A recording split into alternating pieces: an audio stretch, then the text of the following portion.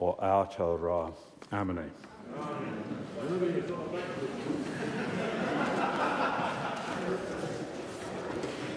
I have been advised by the Electoral Commission. Order.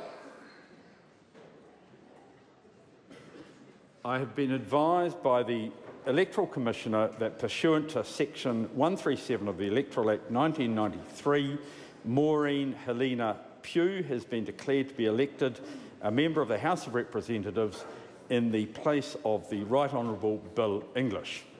I understand Maureen Pugh is present and wishes to take the oath of allegiance. Would she please come forward to the chair on my right?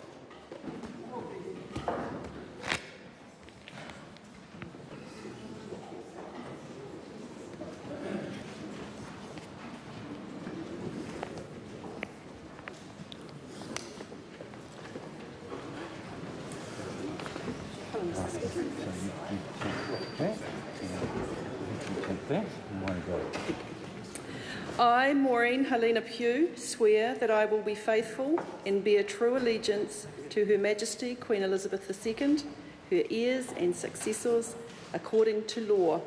So help me God. Thank you. Sign up.